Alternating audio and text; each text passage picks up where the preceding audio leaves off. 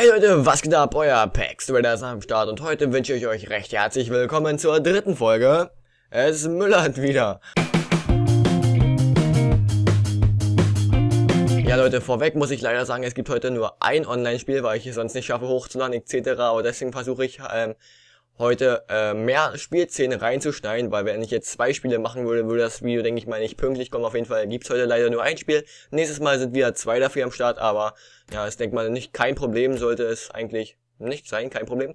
Wie gesagt, wir können am Ende immer noch zwei erhöhen, weil wir haben immer noch 1077 Münzen vom letzten Mal. Da haben wir ja nicht so eine starke Spieler geholt.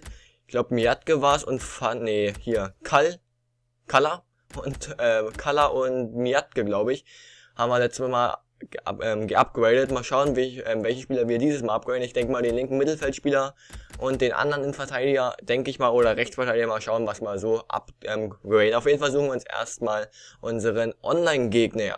So Leute, da haben wir unseren ersten Gegner, er hat ein Barcelona-Trikot. Eigentlich wollten wir ein Bayern-Trikot spielen, aber er ändert sein Trikot nicht. Deswegen müssen wir jetzt hier in dem Deutschland-Klassik-Trikot spielen. Ihr habt schon gesehen, 32 Chemie hat der ähm, Spieler. Ja, er packt einen rechten Mittelfeldspieler im ZOM und einen Mittelstürmer im rechten Mittelfeld und einen linken Mittelfelder linken Mittelfelder im ZDM. Also ich denke mal, er hat nicht so viel Ahnung von Ultimate Team. Er hat erst gerade angefangen und hat noch keine Coins. Entweder oder, aber ich denke mal beides. es geht hier gleich mal ab hier. Fandrich, Fandrich auf Maurice. Gleich mal in der ersten Minute. Maurice zieht ab. Und Maurice trifft das Außennetz leider. Thomas Müller, Thomas Müller. Jetzt mit einem Roulette. Jawohl, Thomas Müller, mach ihn. Nein, der Keeper hält noch. Der Keeper, wie kann er den noch halten? Wie kann er den noch halten hier? Schön mit Pike, Thomas Müller, glaube ich. Hier, schauen wir uns mal an. Zack, jopp, mit Pike haut er das Ding drauf, aber der Ronaldinho da am Tor hält ihn, weil Ronaldinho hat ja auch einen Pferdeschwanz und der Keeper hat auch einen Pferdeschwanz. Sagt man das so? Für die Haare, glaube ich. Auf jeden Fall gibt es hier eine Ecke. Thomas Müller, vielleicht können wir die irgendwie noch hier reindrehen. Und da Kopfball, Kopfball, Kopfball, Latte. Das gibt's doch gar nicht. Komm, schieß rauf, schieß rauf, schieß doch mal rauf da. Das gibt's doch gar nicht. Geklärt hier. Jawohl, Wittek. Wittek mit einem ähm, Traumlaufpass auf Thomas Müller. Und Thomas Müller, Thomas Müller, da scheppert im Karton, Leute. Thomas Müller mit dem 1-0 in der 11. Spielminute. Ich glaube, es ist sein, fünftes Tor in der Serie. Finden wir ja. Bei jedem zehnten Tor mache ich ja ein Premium Gold Set auch, wo ich dann halt, halt alle Goldspieler übernehmen darf. Ich denke mal, das ist eine, ja, eine gute Regelung, weil Eventuell ziehe ich ja da einen Messi. Ja. Ich glaube aber ja nicht. Auf jeden Fall hier 1-0 in der 11. Spielminute Thomas Müller. An diejenigen, die die erste und die zweite Folge ge ähm, gesehen haben, die wissen ja, wie Maurice abgeht. Leute, wenn nicht, schaut euch die erste und die zweite Folge nochmal an, Leute. Maurice, der geht sowas von ab. Unser Gegner wieder mit Ben Jeddah, aber Konrad, der steht auch richtig gut hinten. Es ist abseits, Fandrich, Fandrich abseits, schade. Sonst wäre hier Fandrich fast durch gewesen. Eventuell ein bisschen durchgelackt, aber Lack muss man ja am FIFA haben, ne, Leute. Kala verliert den Ball. Ah, ja, ja, jetzt Konter hier ins Konter. Elza. Das ist der einzige Goldspieler im gegnerischen Team. Davis, aber schön von Konrad, Leute. Ich glaube, Konrad und äh, Maurice sind die letzten beiden Bronzespieler, die ich verbessern werde. Erst wenn mein ganzes Team halt Bronze Rare ist, kann ich halt anfangen mit Silberspieler also von Bronze Rare, Rare zu Silber. Also wenn mein ganzes Team Bronze Rare ist, dann kann ich erst anfangen von Bronze Rare zu Silber upgraden. So, jetzt Color, schöner Pass hier von Maurice, glaube ich, und Color macht ihn. Und Color macht das 2 zu 0 hier in der 39. Minute. Das verdiente 2 zu 0, Leute. Ich glaube, der Gegner hatte gar keinen Schuss aufs Tor. Oh, Thomas Müller, jawohl, schöner Pass auf Handrich. Und Handrich jetzt nochmal weiter auf Maurice. Und Maurice, Maurice macht das 3 zu 0. Zwei Minuten später, nachdem das 2-0 gefallen ist hier, schöner Pass nochmal in die Mitte und ja, Maurice ist halt einfach ein eiskalter Stürmer da vorne. Wenn ihr ganz wenige Coins habt und ein Bronze-Team machen wollt, sage ich mal, holt euch Maurice, das ist die Tor, ja, wie sagt man das? Die Torgarantie hundertprozentig, Leute. Das ist eine Tor einfach, der macht jedes Ding eigentlich vorm Tor rein. 4-0 schafft er nicht mehr aufzuholen, alleine schon, weil er null Schuss aufs Tor hat. Wäre der Gegner jetzt gut und wir würden 4-0 führen, dann würde ich sagen, vielleicht schafft das das Unentschieden noch, aber er ist ja schlecht und wir führen 4-0. Das ist, äh, ja, das ist einfach so. Auf jeden Fall schauen wir uns mal die Statistik an. Ich denke mal, der Gegner hat 0 Schüsse, der hat einen Schuss. Was, Alter, was, was, was? Wo hat er den Schuss hergeklaut? Auf jeden Fall hat er 0 Schüsse aufs Tor. Wir haben 6 Schüsse aufs Tor und 4 Tore, 56% Ballbesitz. Aber ich denke mal, die Statistik ist eindeutig. Wir sind klar besser. Wir sind die überlegene Mannschaft. Überlegene Mannschaft, ja, so sagt man es auf jeden Fall. Sehen wir uns in der zweiten Halbzeit wieder. Oh, oh, jetzt kommt der Gegner mal. Davis. Davis, Davis, Davis, Davis. Macht das 4 zu 1, Leute. Macht er doch hier noch hier das 4 zu 4. Ich habe ja in der Pause gesagt, der Gegner ist eigentlich richtig schlecht. Und jetzt kommt er hier auf einmal durch mit Charlie Davis. So fand ich. Verliert den Ball, aber Kallauer zieht den Ball wieder. Der ist richtig stark. So, jetzt auf Maurice. Maurice. Freistoß. Für uns Freistoß. Thomas Müller, der ist jetzt nicht so der Freistoß-Experte. Aber wir probieren es einfach mal. Wir haben keinen besseren. Thomas Müller, Thomas Müller, Thomas Müller. Aber der Keeper hält. Der Keeper hält. Der war gar nicht so schlecht geschossen von Thomas Müller. Ben Yedda, Ben Yedda, Ben Yedda. Alter, was macht denn Sattelmeier da? Was macht denn Sattelmeier da? Jetzt steht das 4 zu 2 hier. Alter, umso mehr Gegentore wir bekommen, umso weniger Coins bekommen wir und umso schlechter sind die abgegradeten ähm, Spieler von uns. Auf jeden Fall, was macht denn Sattelmeier da, Leute? Ich verstehe es nicht. Fandrich jetzt hier, jetzt müssen wir erstmal nachlegen. Zack, Fandrich. Leute, sage ich ja, so ist der Anschlusstrick und dann rennen wir einfach hier durch und machen das Tor. Zack. Jetzt macht der Gegner, ähm, jetzt macht der gegnerische ähm, Keeper auch so einen Fehler wie mein Keeper eben, oder wie unser Keeper eben. Auf jeden Fall was, ja, eigentlich, eigentlich muss man da eigentlich, eigentlich muss man da aber EA anrufen und was macht der Keeper da? Das muss man so fragen. Diese Szene muss man ähm, EA schicken und dann einfach mal fragen. EA? Ist es dein Ernst? So muss man es einfach mal fragen. Auf jeden Fall hier Clemens Fandrich in der 68. Spielminute 5 zu 2. Oh, schlimmer Fehler von unseren Gegner. Ballrolle, zack, Maurice, Morisi, Morisi, Morisi. Und es gibt Elfmeter, Leute. Es gibt Elfmeter. Natürlich schießt den Elfmeter Thomas Müller. So, mal schauen. Zack, hier Ballrolle. Wollte mal hier nochmal nach, ja, wie nennt man den Trick hier? Zurückziehen oder irgendwie sowas. Keine Ahnung, auf jeden Fall hier. Thomas Müller schießt natürlich den 11 Meter. Er könnte sein siebtes Ding machen. Macht er vielleicht sein siebtes Ding? Ich schieße halb acht rechts oben. Und ja, Leute.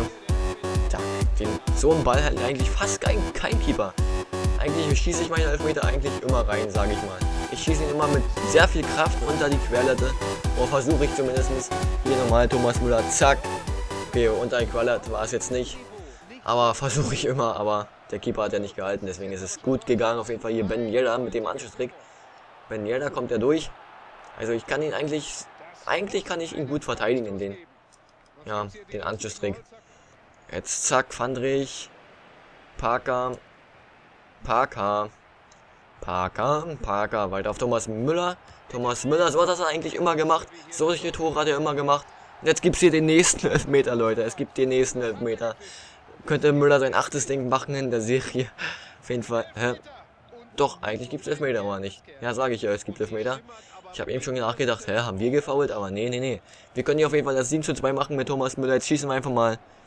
Ja, wir schießen mal flach in die Mitte, Leute. Ich probiere einfach mal flach in die Mitte. Das interessiert mich mal, ob der Keeper das hält. Flach in die Mitte, oh, versuchen, flach in die Mitte zu schießen. Ja, Leute, so geht auch rein. Keeper bleiben eigentlich, ist jetzt schwierig zu sagen, aber die meisten springen eigentlich, ja, rechts oder links sind die meisten, ja, die bleiben nicht in der Mitte stehen. Und flach in die Mitte, das geht auch gut. Okay, jetzt kommt der Gegner nochmal hier. Davis, Davis, Davis und macht Ball. Wirklich jetzt hier nochmal das 7 zu 3, das gibt's doch gar nicht. Dieser Kack Davis, Mann. Der klappt eigentlich meistens auf jeden Fall jetzt ab 5, 7 zu 3 mal gewonnen. Mal schauen, wie viele Münzen wir bekommen, ne? So, Leute, wir bekommen auf jeden Fall 895 Münzen. Das heißt, Coins-Zähler.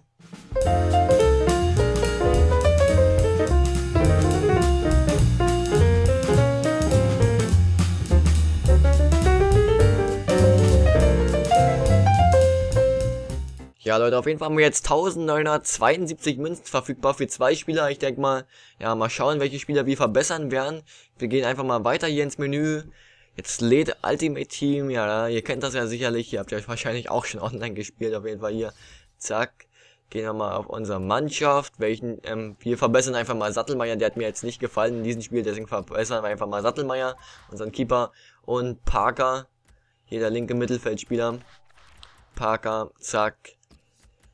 Zack, zack, zack. Das heißt, wir suchen uns einen neuen linken Mittelfeldspieler und einen neuen Torwart. Schauen einfach mal Torwart nach. Bronze, ähm, Torwart, upsala.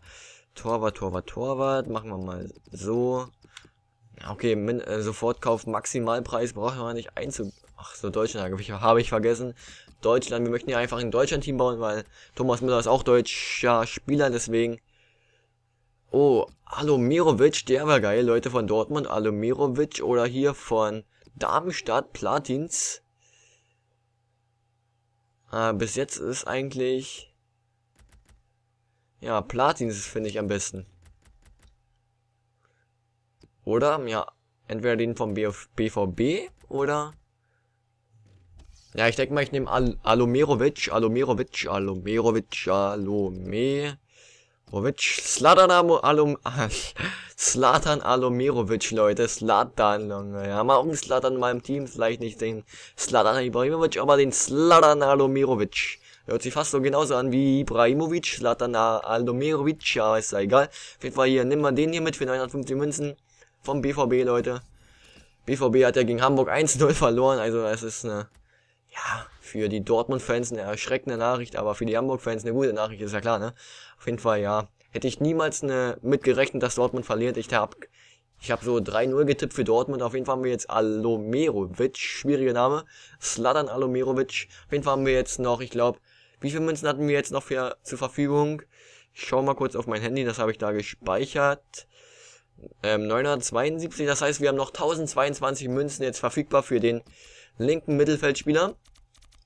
So, linkes Mittelfeld. Schalalala, Ach, Niederlande gucke ich jetzt.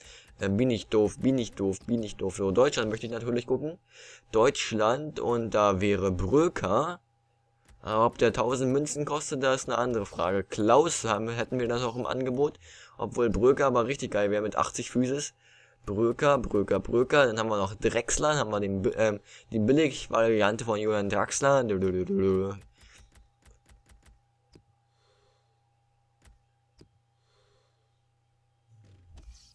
Ja, Leute, wir gucken einfach mal hier ins nach Bröker nach. Sofortkauf. Vielleicht haben wir ja Glück und bekommen ihn. Ja, wie, wie heißt denn dieser Bröker mit Vornamen? Weil man kann dann ja kein Ö eingeben hier. Vorname heißt da Thomas, okay. Wenn ich Thomas suche, dann kommen garantiert richtig viele andere Spieler. Thomas. Zack, zack, zack, zack, zack, zack, zack. Thomas Bröker, Bröki, Bröki, Bröker. Schön, Alter. Das kann man hier nicht mehr Bröker suchen, oder was? Muss ich halt so einstellen. Bei Köln Spieler, glaube ich. Ja, Köln. Also wenn da irgendwie 1000 Münzen bekommen, wären wir richtig gut dabei. Weil wir haben ja nur 1000 Münzen zur Verfügung. Und da bekommen wir nicht ähm, diesen schönen Herrn Brücker. Das heißt, wir müssen uns einen anderen Spieler holen. Hier Drexler. Drexler. Dominik Drexler. Mal schauen. Was hat er eigentlich für eine Work Rates? Mittel, Mittel, Spezialbewegung 3. Also, ja, okay. Passt auf jeden Fall. Und den bekommen wir auch noch billig. Das heißt, wir können uns nächstes Mal wieder einen guten holen und wahrscheinlich einen schlechteren. Auf Fall 300 Münzen kostet er.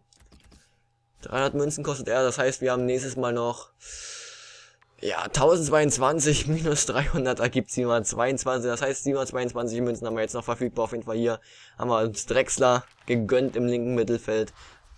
Ja, auf jeden Fall, ja, war es war es das eigentlich schon wieder mit dieser Folge. Auf jeden Fall, ja, freue ich mich über natürlich über jedes Like, was ich bekomme auf diese, auf es müllert wieder, weil eure Unterstützung brauche ich eure. Ja, wie gesagt, eure Unterstützung bei solchen Projekten ist einfach geil. Ein paar Däumchen nach oben würde ich mich, würde ich richtig abgehen. Auf jeden Fall sehen wir uns dann halt morgen wieder bei Trainerkarriere mit Tottenham. Auf jeden Fall, ja, bedanke ich mich natürlich fürs Zuschauen und dann bin ich raus. Haut rein, euer Pax Trader und ciao, Tschüssikowski.